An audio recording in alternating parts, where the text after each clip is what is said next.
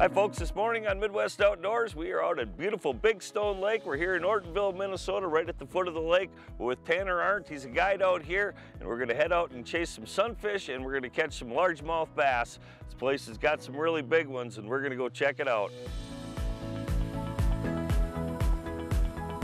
Right about where I'm at there is gonna kind of be the sweet spot. There he goes again.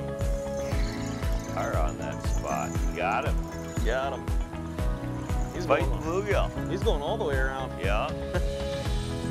Fighting like his bass. Ooh, Look at that. nice one, chunker. That's what we're That's the way for. to start the day, Tanner. Better Yeah. watch my bobber. I guarantee we're gonna get bigger today. You know we're doing something right. oh but yeah, nice ones. Fun to catch. For sure, we'll get that one back and catch another.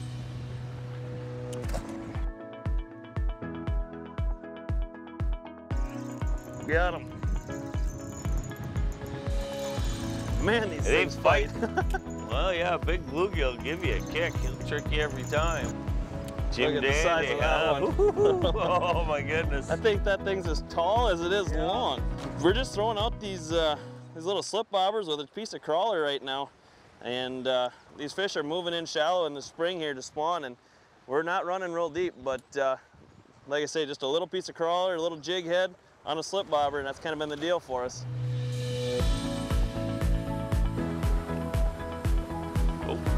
Got him. There you Dale. Woo, look at that toad. wow, that is a nice one. Uh, these bluegills, they've always been in the lake, but they've really come on now. Your pan fishing in general has really gotten good out here, hasn't it? We've really seen a boom in these big bluegills, and they're just getting more and more numerous all the time. And you got a great fall bite for perch too, don't yeah, you? you can't forget about the perch out here. That's what Big Stone's known for, but it's changing over to these guys pretty quick.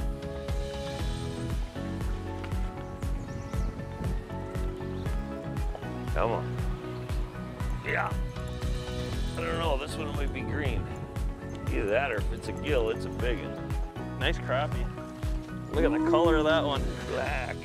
But you got 26 miles of water here on Big Stone, huh? So a lot of places to fish. And actually for the the panfish, they like to spawn in this gravel and this rock stuff that the lake has a bunch of. So it's a perfect environment for them, isn't it? You know, a fairly narrow and long lake. There's a lot of good shoreline, like I say, with that hard bottom for these fish to move up into this time of year. And see why black and blue is a favorite for bass too on that Yes. fish right there, huh? Yep. See you, dude.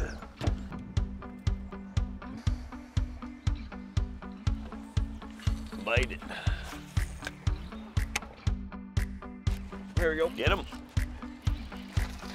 Tricky. There we go. Nice. You gotta have these ones to make the big Yeah. ones. So good to see. Nice little fish there. Getting the chatterbait. Yep. There he is. Nice.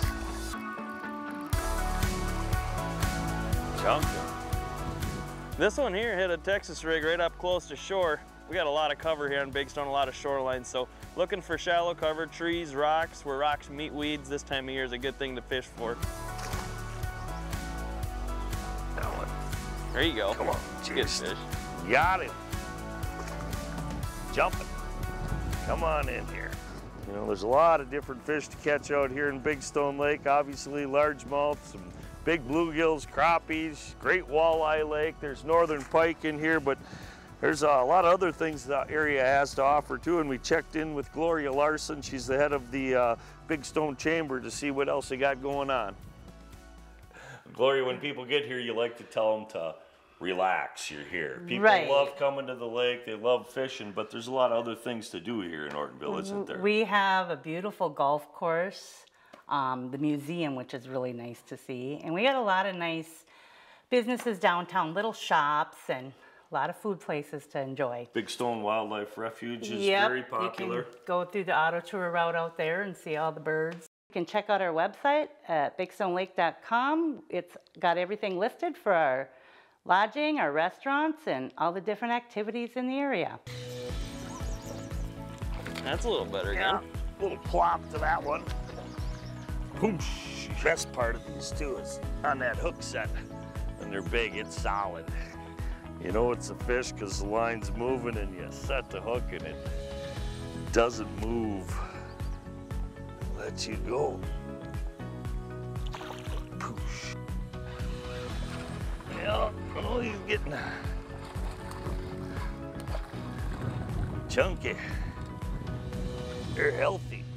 What do you think? It's the bluegills? Oh, you got one Double too? up. Doubled up. Yep, they're liking this spot. Woo! Just goes to show how many of these there is in the system right now. Doubled up, that's a good way to end the day. Tell you what, there is a ton of fish in Big Stone Lake. You got largemouth bass, sunfish, crappies, walleyes, northerns. If you want to come out here and catch them yourself, well, how do they find out more information, Tanner? You bet. They can just go to the uh, Chamber's website, bigstonelake.com. Um, we got up-to-date fishing reports at Artie's on Facebook as well. Yep, for Tanner Art, I'm Greg Jones. More Midwest Outdoors is coming right up.